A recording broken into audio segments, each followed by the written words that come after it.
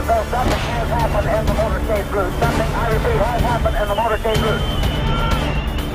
Who controls the past, controls the future. Who controls the present, controls the past. The death of bin Laden marks the most significant achievement to date in our nation's effort to defeat Al Qaeda. All you got to do is start looking around, start thinking for yourself, start investigating things, and you will see it all right there. So you have the power. Humanity has the power. We have the power. Do you want to fight? You better believe you got one. Let us never tolerate outrageous conspiracy theories. As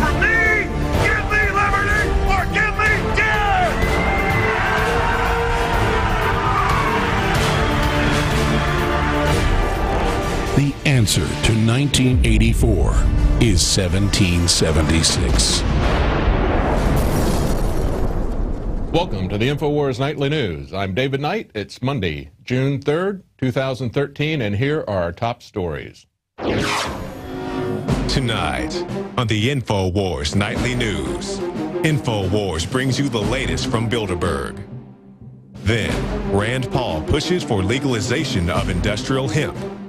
And Motorola introduces not only a tattoo, but a pill to track everything you do.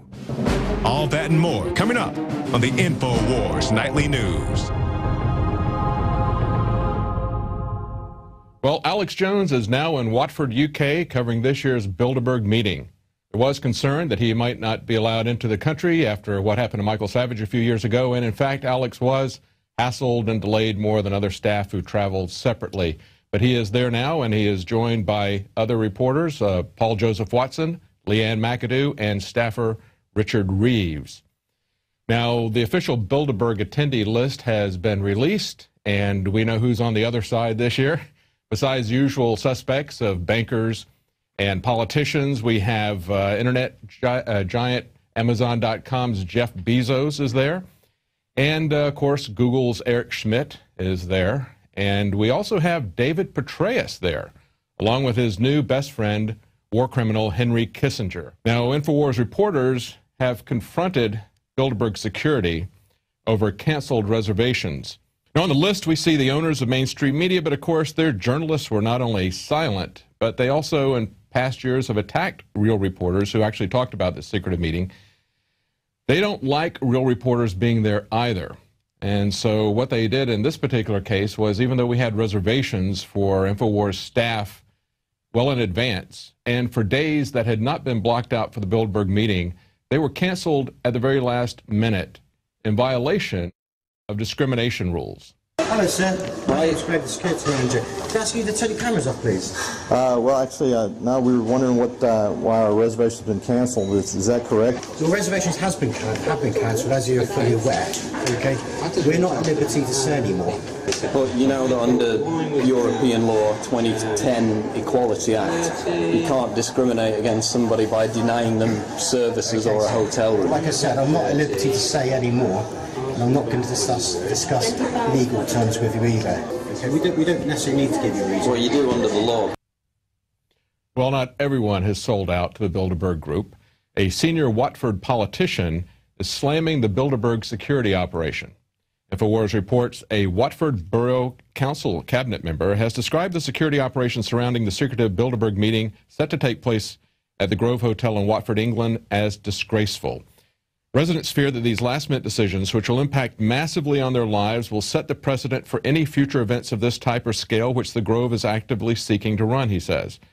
When, in just over a week's time, the circus has left town, we will have to pick up the pieces, sort out the mess, make good any damage caused by the grove of Chandler's Cross. We'll just sit back and enjoy its global acclamation, said the counselor.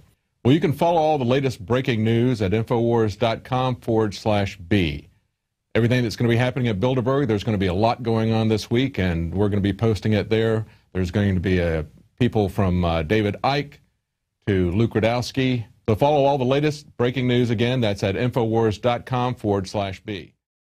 And that brings us to our quote of the day from an Argentinian, Jorge Luis Borges. He says, The future is inevitable and precise, but it may not occur. God lurks in the gaps. God doesn't just lurk in the gaps. He's in control, folks. And, uh, you know, there's, uh, speaking of Henry Kissinger, I guess his arch nemesis, Christopher Hitchens, who wrote the book, The Trials of Henry Kissinger, that you saw a clip of that movie in that previous report.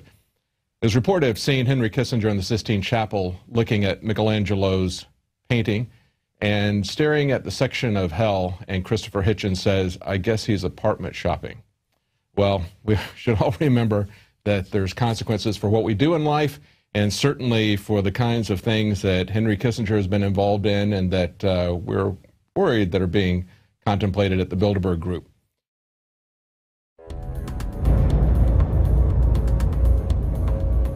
Our viewers have demanded it, so now you're going to get it.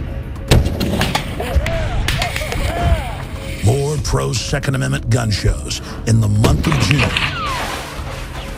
What we've learned is you cannot hide behind an I-beam when there's a 50 cal present.